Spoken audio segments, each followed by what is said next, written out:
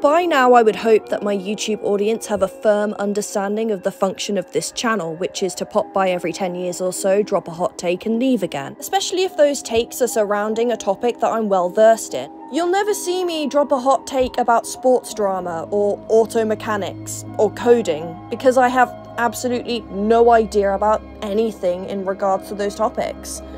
But psychology and criminology, I spent 27 grand on a degree and I wrote an entire dissertation, and by God will I milk that for all it's worth. But I will make it clear that I myself am not an expert. I was given the great honour of being educated by some of the best minds in this subject, but that doesn't make me a psychologist, a psychiatrist, or a criminologist.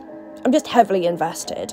Which is why I think it's important that when certain people online talk about certain subjects, they should also make those concessions as well. Let's take the topic of this video as an example. What do you think of when you hear the word cult? Cult is such a thought provoking word. I would wager that many different images conjured in your mind were there just from hearing that one word. And I would also bet that the majority of those images were negative. Perhaps you thought of a charismatic leader, indoctrination, brainwashing, and exploitation. But why and what even is a cult? Etymologically speaking, the word cult comes from the Latin culere, and officially the Oxford Dictionary defines cult as a system of religious veneration and devotion directed towards a particular figure or object. Throughout the years, there have been many different cults that fit this description, but aren't compatible with the modern idea of what a cult is. Take, for example, the cult of Demeter.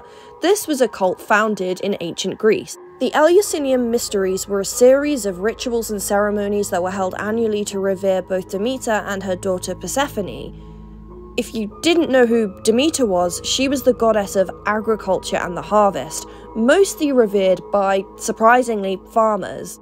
While the specifics of the exact rites were kept largely secret, we can guess based on other cult activity within the area and time period that the most they probably got up to was sacrificing an animal in the name of Demeter, hoping that she would bless their harvest. Nowadays, slaughtering a goat in the name of a god is probably frowned upon, but back then it was extremely common in comparison. It was a simple part of worship. If you want favour from a higher being, then you've got to spill some animal blood. It was a community endeavour, it wasn't held in secrecy. The meat would be eaten, normally at the ritual site, and also its skin would be taken to tan and leather and be used for other goods. It wasn't until the spread of Christianity that this practice died down. We look back on it and think, ooh, that's a bit weird, but then again, the majority of us are meat eaters, so I don't really think we have a leg to stand on. This section has been here to illustrate to you that there have been for centuries, if not thousands of years of history regarding cults that doesn't indicate the same thought pattern that we have when it comes to cults today, and they haven't universally been seen as negative.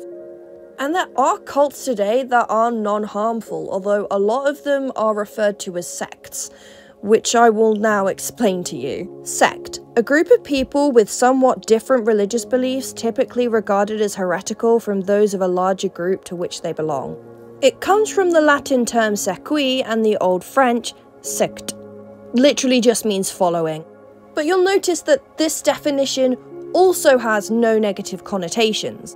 It merely denotes that they do not follow the majority, so, taking the definition for cult and sect, it seems like our interpretation of a cult is a combination of the two a system of religious veneration and devotion directed towards a particular figure, which is the part of cult, and then also incorporating the definition of sect, meaning that the majority do not follow this. In the Melanesian section of the Pacific Ocean is an island country called Vanuatu. It is home to the Kastom people, and in particular for this video's sake, the villages of Yaohnanen and Yakel. These people believe in the divinity of Prince Philip, the late husband of the late Queen Elizabeth II.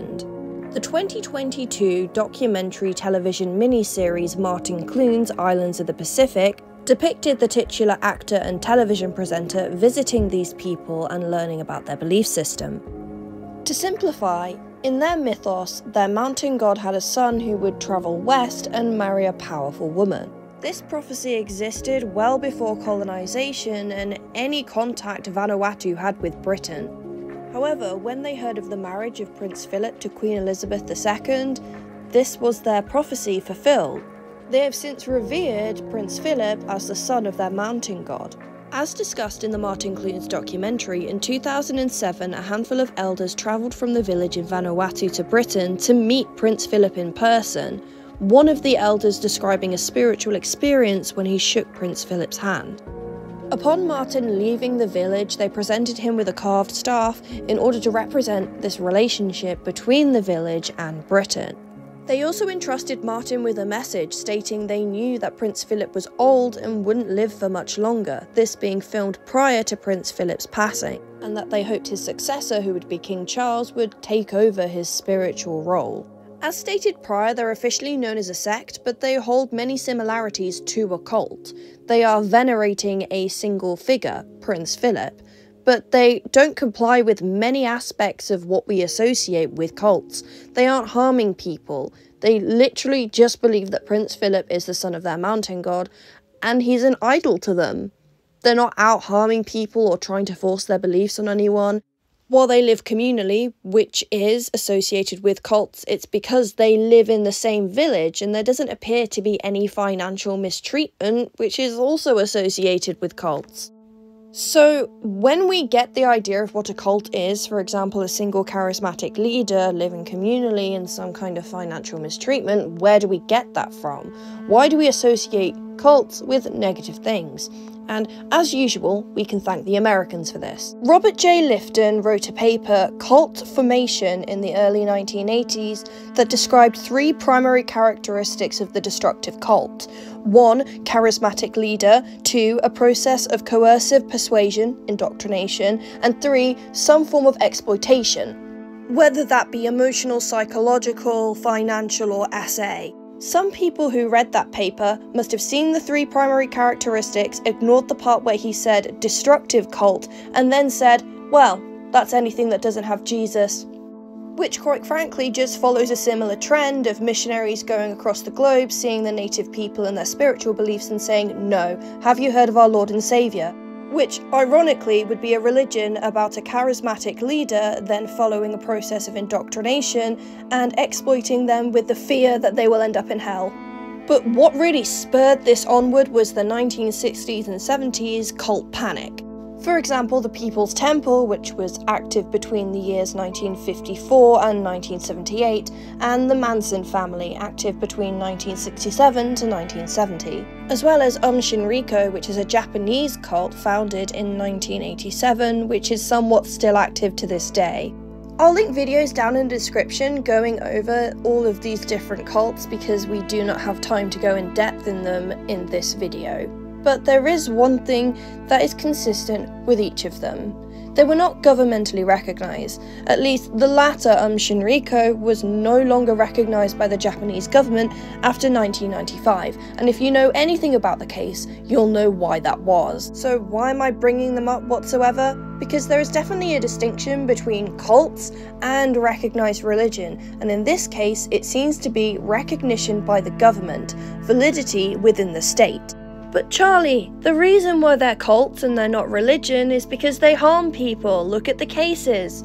That's absolutely true. They are destructive cults. However, when we look at the term cult, these are the examples of cult we think of as opposed to traditional religion. Wayne Ingram quotes religion scholar Megan Goodwin in their podcast Study Religion when they state, Cult is shorthand for religion I don't like. We default all cults to be destructive cults because we live in a Christocentric society. When we use the term cult, we are defaulting to a negative stance.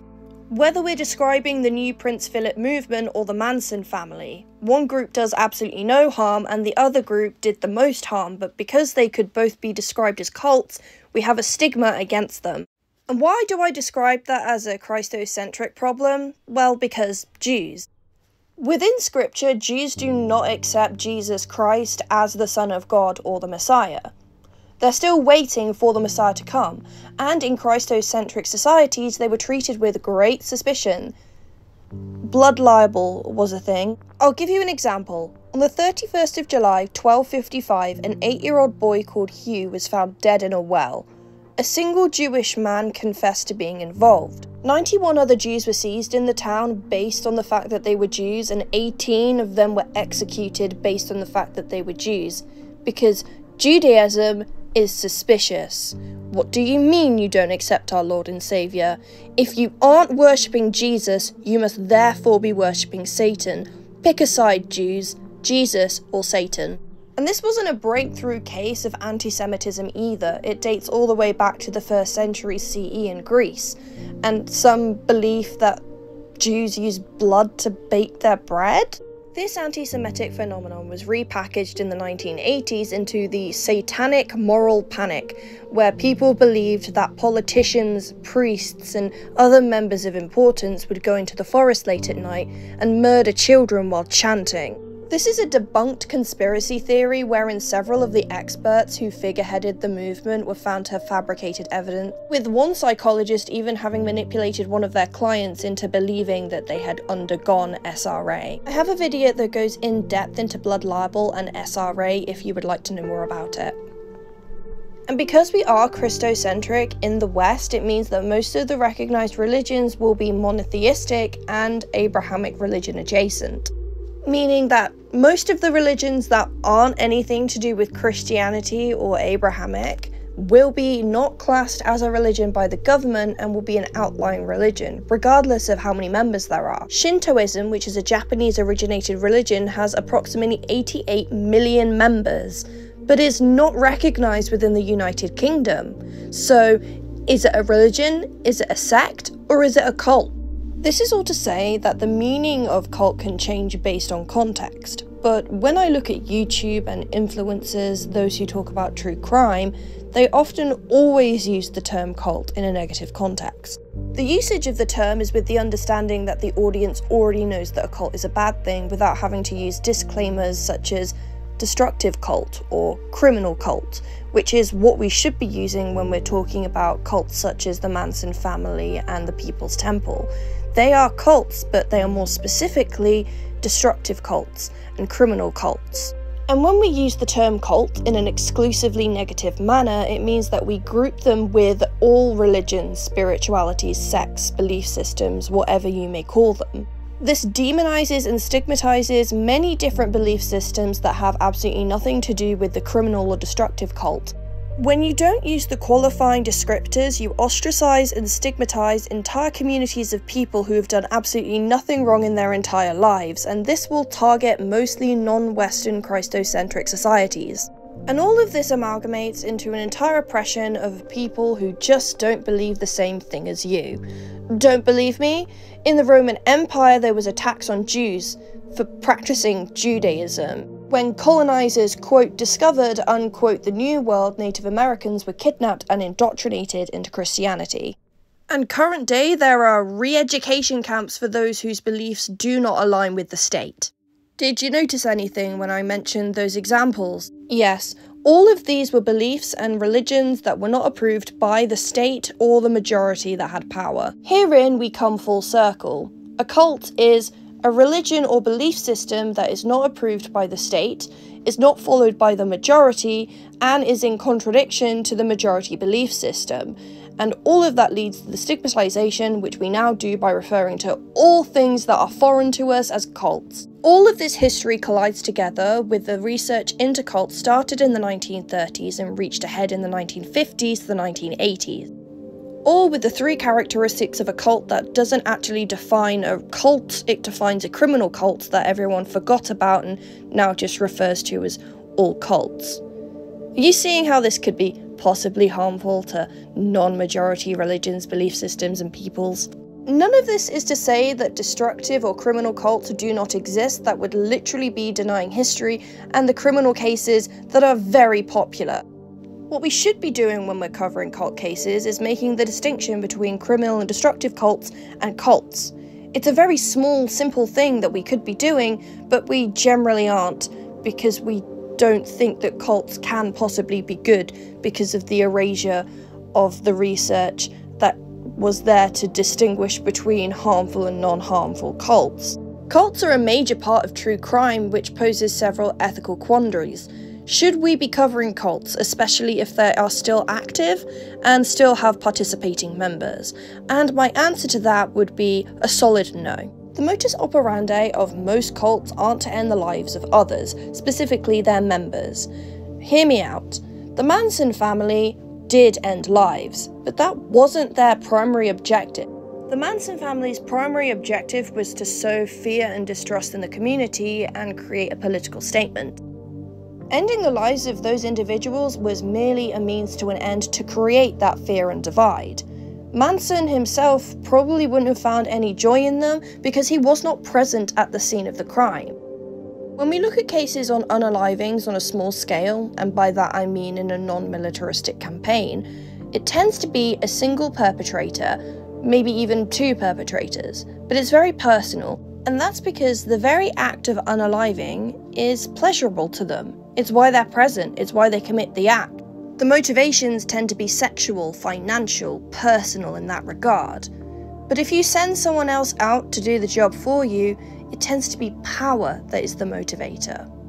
In the case of Jonestown with the People's Temple, the reason why unaliving occurred is because Jim Jones felt like he was backed into a corner. He never unalived someone prior to that point. It was only when a US official not affiliated with Jones visited Jonestown that he felt threatened and therefore ordered the act. And this case mirrors many others when it comes to criminal cult unalivings. Many criminal cults will unalive to gain power, and others will begin unaliving when they feel they are losing power. This is what I refer to as the peak of danger for criminal cult members. They begin this process of eliminating their own members if they feel like they are in danger, which places the members themselves in danger, which is why you should never cover an active criminal cult.